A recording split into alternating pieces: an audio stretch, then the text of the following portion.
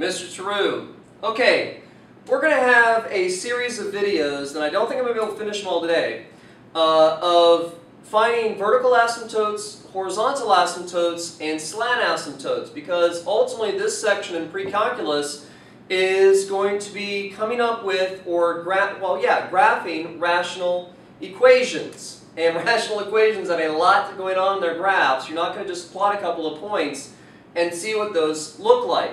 So the first thing you want to do is learn as much as you can about the graph before you even start trying to consider some uh, doing a t-table of points. Alright, the first thing and the, and the easiest thing to find is if there is any vertical asymptotes.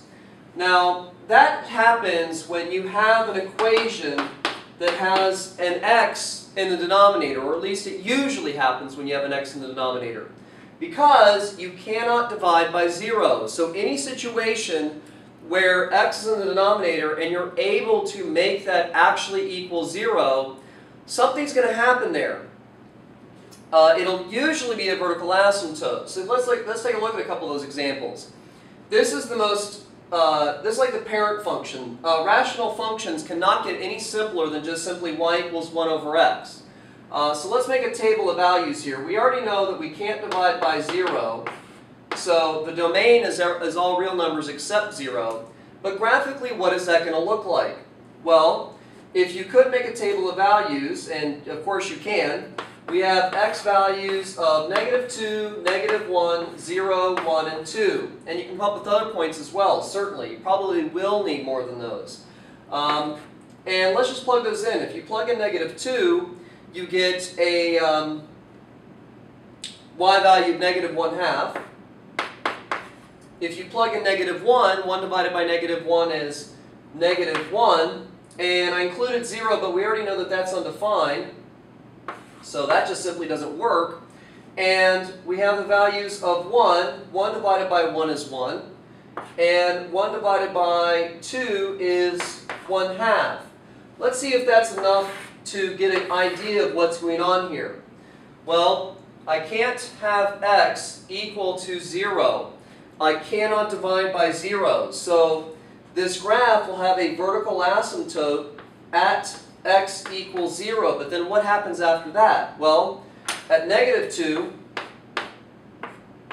we're at negative 1 half.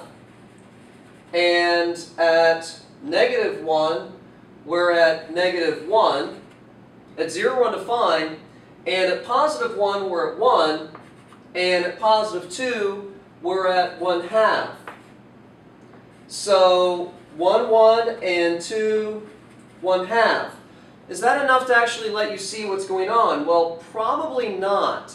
Uh, because you may never have seen vertical asymptotes in your graphs before, so we might need a couple more points. So let's add a few more.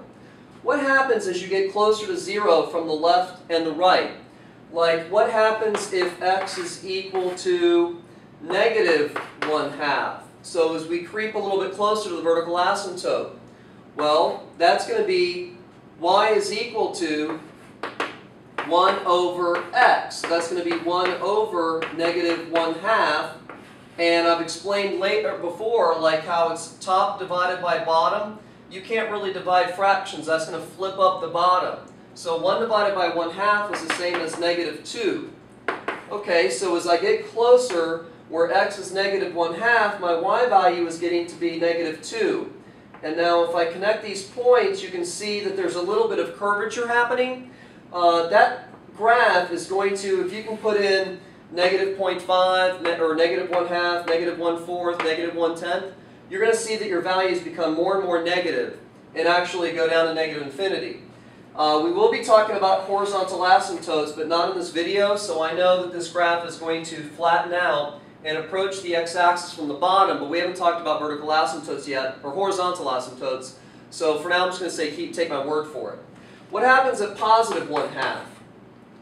Well, again, y is equal to 1 over x, and that's now going to be 1 over 1 over uh, 2, x valued 1 half.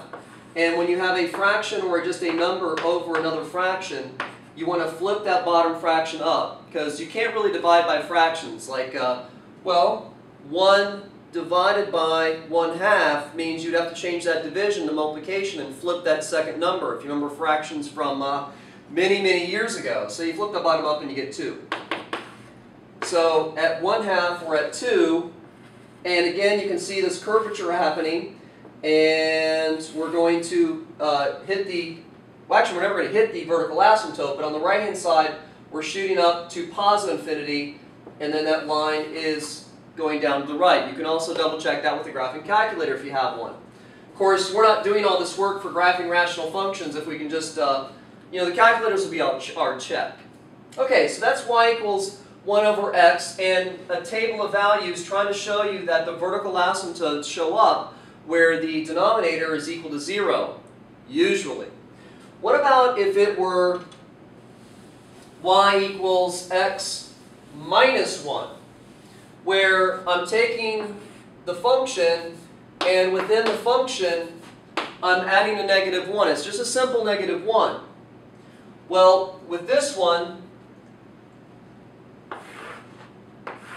if you remember what I just had up here a second ago, this is y equals 1 over x. Well, again, you cannot divide by 0, so x minus 1 cannot be 0, so x cannot be 1.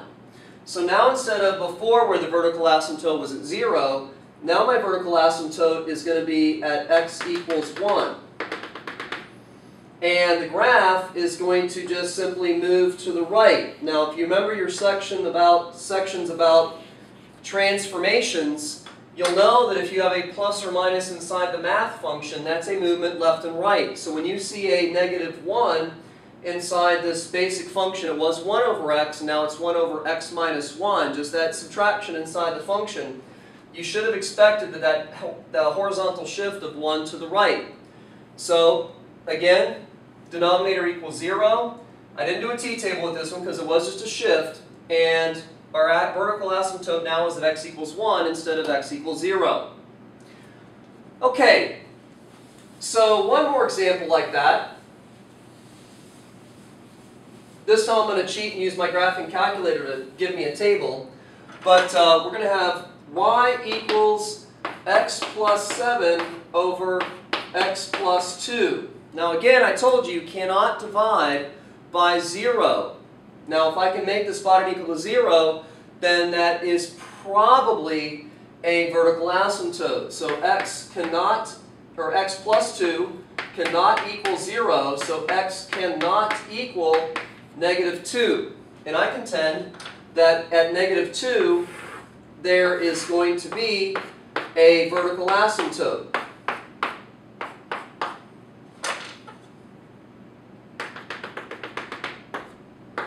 Because I can't divide by negative 2. So if I uh, use my handy dandy calculator here and go to my current diagrams, why yes, this graph is going to approach and go down against the uh, left side of the asymptote and come up and look something like this approaching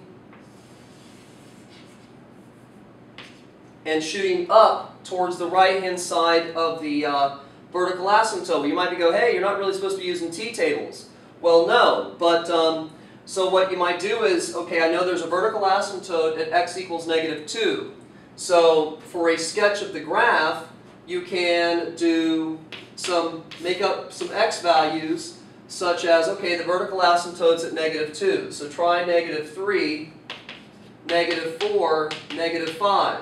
Now, I'd like to put these in order, so it's kind of annoying I just wrote it like that. On the right-hand side of the asymptote, to the right of negative 2, maybe you can try some values of one, negative 1, 0, and 1, and then plug each of those in one at a time into the equation. Like negative 1 would be negative 1 plus 7 over negative 1 plus 2. So that's 6 over 1. So at negative 1, we're at 6. So at negative 1, my drawing, certainly not drawn to scale very well.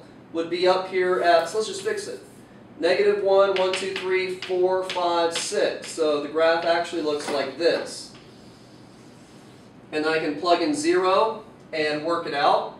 0 plus 7 over 0 plus 2, which is 3.5, and so on. So I'm using some values to the left of the vertical asymptote, and I'm using some values to the right of the vertical asymptote to kind of get an idea of what the graph is doing. For a complete idea, you have to know what's going on here, and why is this curving and flattening out of the graph happening at this uh, value, what appears to be y equals 1? Well, I'll take care of that when I cover horizontal asymptotes in another video. Ultimately, we're going to do a, few parts and then do like one video where I graph one or two rational equations from start to finish.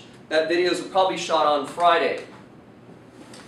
So that's three examples of how when you have a vertical asymptote, or excuse me, the denominator equals to zero, you have a vertical asymptote. Well, how about an example where we don't get a vertical asymptote? We get a hole. So y equals uh, x squared minus 3x plus 2 over x minus 1. Well, I can make that denominator equal to 0. I cannot use x minus 1 cannot equal 0, so x cannot equal 1. So something's going to happen at x equals 1. Is it going to be a vertical asymptote again? Well, in this case, the answer is no. And the reason why is going to be found through the simplification process of this rational equation. This top trinomial factors, there are factors of uh, 2 that add to negative 3. And I can do that, that simply because the leading coefficient is 1. The top will factor to be x minus 2 times x minus 1. And you can double check that. That will multiply back together to give you x squared minus 3x plus 2. That's over x minus 1. And now, see my x minus 1 is factoring out. My simplified version of this equation is y equals x minus 2. Well, that is y equals mx plus b. This is slope-intercept form. This is simply the equation of a straight line. So I can graph this by going, hey, the y-intercept, or excuse me, the slope is equal to 1 over 1. So that's going to be up 1 and over 1. The y-intercept, or b, is equal to negative 2. And that means that this is going to, video is going to be done in a second. Uh, this line is going to cross the x-axis at negative 2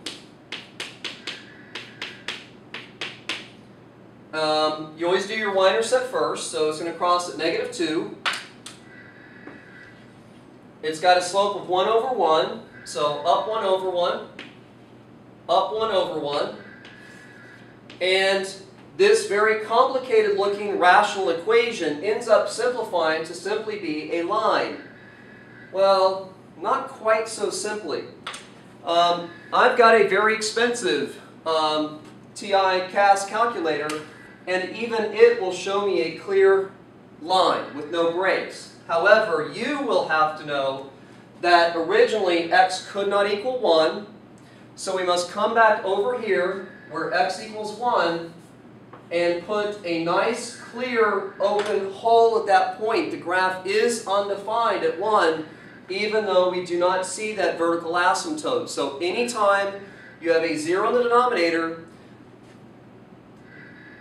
and it factors out or simplifies out, you will not get a vertical asymptote there. You will get a hole. So that's introduction to vertical asymptotes. Let's move on to horizontal ones. Bam!